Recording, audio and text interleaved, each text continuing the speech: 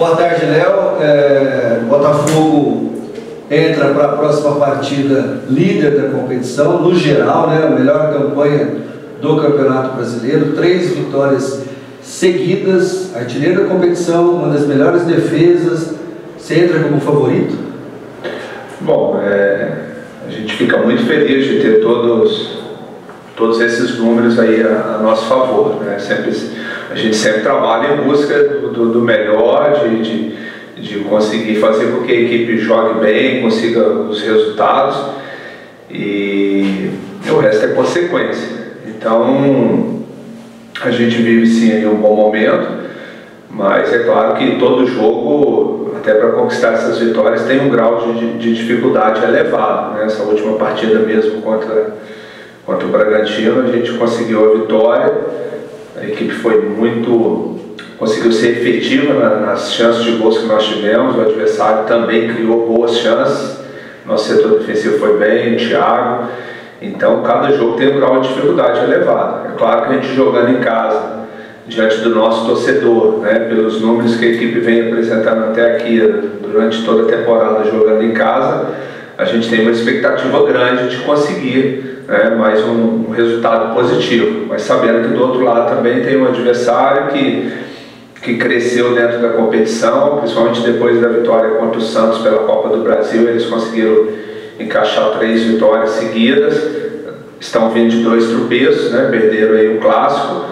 É, o que a gente tem que fazer é ter o máximo de respeito ao adversário, jogar forte e fazer com que é, a gente consiga manter aí esse bom retrospecto e conseguir mais um resultado positivo. Léo, não existe partida sem importância. Mas existem partidas que ganham uma importância a mais de acordo com a circunstância atual ou é, de projeção a curto prazo. É, e este jogo contra o Luverdense, ele está exatamente no meio de uma sequência de quatro jogos, onde três são fora de casa e apenas ele isoladamente em casa. Ele ganha uma importância maior por isso, sabendo que você já jogou uma fora, foi bem, ganhou, mas você tem mais duas na sequência fora? Ah, sem dúvida. A gente na realidade, a gente faz essas contas sim. Da mesma forma que a gente teve essa tabela favorável no início, ela agora é, nós temos que, que cumpri-la aí. É, vamos sair para jogar dois jogos difíceis, né? Contra Cuiabá, brincando aí pela classificação e, e Volta Redonda, provavelmente brigando para sair dessa, dessa situação incômoda que eles se encontram. Então serão dois jogos dificílimos jogando fora de casa. Então esse jogo ganha uma conotação aí de importância muito grande é, para a gente ter tranquilidade nessa saída nossa. Né? Um, um tropeço em casa, a gente já sai novamente pressionado para trazer bons resultados. É claro que a gente conseguiu acumular uma, uma gordurinha, mas a gente não quer queimar ela não. Nós vamos, vamos procurar continuar trabalhando forte, buscar mais um resultado positivo que sem dúvida a gente fica mais tranquilo para esses dois jogos fora. Ainda pegando esse gancho né, do raciocínio da, da, matemática em torno da, do jogo, você já projetou 30 pontos aí com a classificação e 35 para manutenção do primeiro lugar. Para os 30 falta 9. E você tem três jogos em casa. Seria esses três jogos em casa, já contando com esse, seria aí é, fundamental para atingir esses 30 pontos o mais rápido possível para não ter que correr atrás fora de casa? É, eu penso que, que, na realidade, contando com esse jogo, nós vamos ter quatro em casa. Eu penso que, que se a gente conseguir fazer bem o dever de casa, a gente classifica. Né? É, depois a gente pode sim buscar a manutenção do primeiro ou, ou, até mesmo o segundo lugar, que nos dá a possibilidade de, de definir uma, uma, uma, é, decidir o jogo do mata-mata em casa a gente beliscar alguns pontos fora, né? mas é de suma importância, primeiro, é buscar a classificação, independente se vai ser primeiro ou quarto, o primeiro objetivo é a classificação. E pela pontuação que a gente atingiu até agora, se a gente conseguir vencer desses quatro, conseguir vencer três, é, provavelmente a gente classifica para a próxima fase. Então nós temos que procurar fazer isso bem, respeitando os adversários, claro, é, mas tentar fazer o dever de casa para alcançar essa classificação quanto antes. Você está tendo uma rotatividade grande agora por causa de, de suspensões por, por, cartão amarelo. É, até a quinta, sexta rodada, você provocava uma rotatividade para dar oportunidade para o elenco jogar, aquele rodízio e tal que você preconizou. É, a perda desses jogadores por cartão amarelo, seguindo essa filosofia que você vinha é, trazendo, ela, ela, te dá a tranquilidade de saber que você tem um elenco equilibrado para isso e que o time não vai sofrer tanto com baixas? É, a gente, é, a gente dentro da formação do elenco, a gente sempre procurou, sempre conversando com o pessoal da direção, a gente tentar ter dois jogadores no mesmo nível para cada posição. É claro que nem todas as posições, posições você consegue atingir isso. Então, e, e, e o, o importante é a gente procurar no dia a dia passar para os jogadores aquilo que a gente quer de cada um, para as funções que eles têm que cumprir dentro do jogo e e não só quem está jogando, quem está do lado de fora também ter esse entendimento. E como eu sempre falo, a semana, com a semana cheia, você consegue trabalhar todos os jogadores, dar atenção para todos. Quem não joga no final de semana já representa na, na segunda na terça com, com um trabalho tático, é, tentando fazer mais ou menos algo parecido que a equipe executou no final de semana ou em cima daquilo que a gente já pensa no, no, no jogo seguinte. Então, é claro que perde um pouquinho de, de, de, de, conjunto, né? mas uma base a gente conseguiu estabelecer ela, você, ela né? você já, já sabe mais ou menos o time base do Botafogo.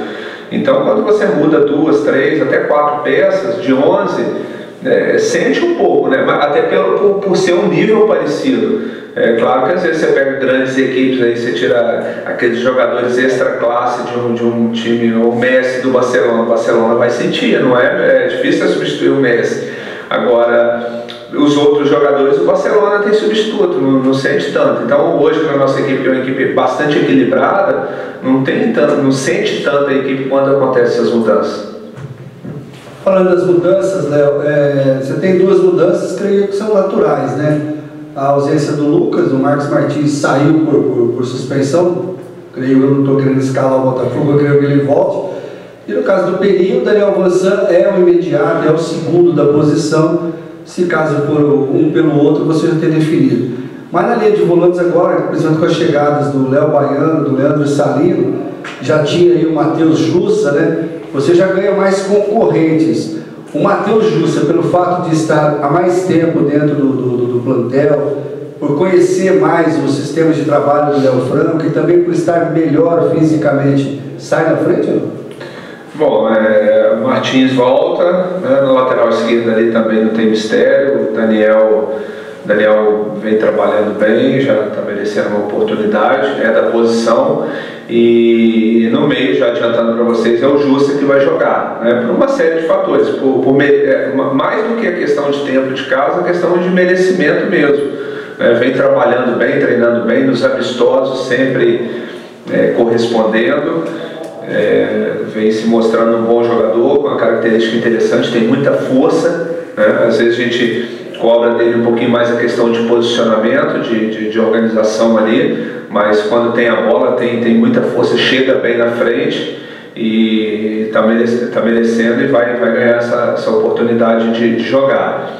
A gente passa a ter aí o Léo Baiano, o Léo Salino como opções, né, já vão, já vão para esse jogo também como opção, são dois bons jogadores, mas é, não pelo tempo, mas principalmente pelo aquilo que ele vem apresentando nos treinamentos, o, o Matheus vai ganhar essa oportunidade.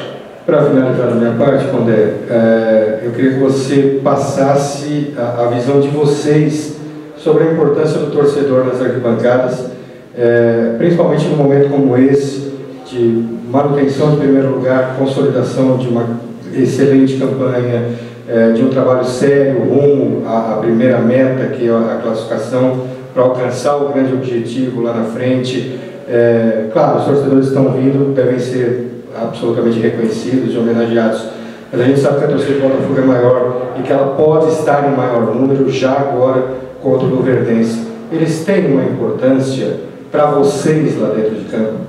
Ah, com certeza. O, o, objetivo maior do futebol é o torcedor, né? E a gente sabe que o Botafogo tem uma torcida grande e apaixonada. É claro que é importante a gente destacar os que estão vindo aqui, é, desde o Campeonato Paulista, sempre apoiando a equipe, até nos momentos de, de dificuldades. É, eu me lembro muito daquele jogo contra a Ferroviária Araraquara, que a gente estava perdendo o jogo de 1 a 0 e a torcida incentivou o jogo inteiro, passou força para os jogadores. Aquele jogo é o maior exemplo disso. Passou força para os jogadores dentro de campo e a gente conseguiu, a gente conseguiu a virada. É, Quero destacar também, até nos jogos longe, tem ido três, quatro torcedores e o Botafogo se faz representado. Agora, é claro que a gente espera, pela campanha que a equipe vem, vem realizando, pela importância da competição, pelo ano do centenário, a gente sabe que o Botafogo tem mais torcedor, então a gente espera que o torcedor possa comparecer em um número maior e até porque a equipe está merecendo esse crédito, essa confiança por parte do torcedor. Bom, já que já, já adiantou o time, agora vamos tentar também escalar o banco agora para o Léo Condé. Há pouco eu falei Léo Franco, agora Léo Condé. Mas mais uma, uma curiosidade, até mesmo uma atração para o próprio torcedor. Dos contratados, você que em casa tem uma oportunidade de colocar um número maior de jogadores no banco, é, estarão todos à disposição no banco de reserva, de repente com o andamento da partida, dentro das circunstâncias, o torcedor poderá ver uma, uma cara nova no decorrer do jogo? Bom, os quatro jogadores que foram apresentados ontem, vão, todos estão à disposição, tanto no aspecto primeiro principal né, de, inscrição, é, no aspecto físico também já estão em condições e até mesmo em termos de entrosamento com o grupo já estão ambientados. Então não tenho por que postergar isso aí. Eles já, já vão todos como opção de, de, de banco. É claro que não, não dá para fazer muito planejamento, até porque dentro do jogo acontece uma série de situações, não dá para. É, é claro que a gente já tem em mente mais ou menos algo que pode fazer, mas o futebol, às vezes, é aquela expulsão que, que pode acontecer, é uma lesão que pode vir a qualquer momento, mas é, todos os quatro contratados já vão como opção de banco, com, com chance de, de algum deles aí é, entrar no decorrer do jogo.